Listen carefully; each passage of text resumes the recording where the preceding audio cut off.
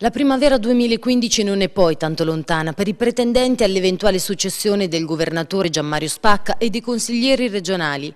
Intanto cominciano a trapelare i primi nomi dai papabili candidati al Consiglio. Alcuni certi, altre sono solo ipotesi. Si tratta quindi di toto candidature suscettibili a modifiche o a smentite. Il Movimento 5 Stelle schiererà per certo Rossella Coto. Nel centrodestra invece si riconfermano Elisabetta Foschi, Roberto Zaffini e Mirko Carloni Carloni che proprio sabato scorso ha annunciato le dimissioni dal Consiglio Comunale di Fano sia per favorire l'ingresso di Alberto Santorelli e quindi rafforzare il gruppo Progetto Fano che ovviamente per dedicarsi a tempo pieno alle regionali.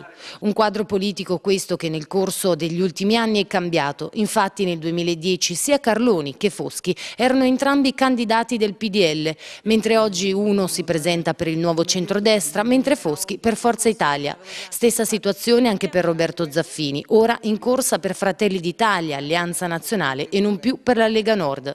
Per quanto riguarda Giancarlo Danne invece, che sta concludendo il suo secondo mandato, prima di arrivare ad una conclusione aspetta di sapere le proposte, di conoscere un progetto chiaro e serio, perché fino ad ora non c'è un quadro ben definito.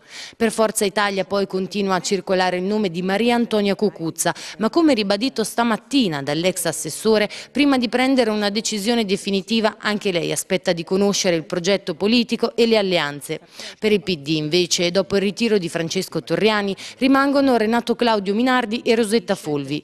Invece a decidere a fine mese sarà la Lega Nord e come affermato da Luca Rodolfo Paolini non è escluso che possano correre da soli. Questo dipenderà dalle scelte di Spacca, il quale deve ancora decidere che cosa intende fare con la sua lista. Dunque la campagna elettorale non è ancora ufficialmente iniziata, ma sono tutti a lavoro per le prossime regionali regionali.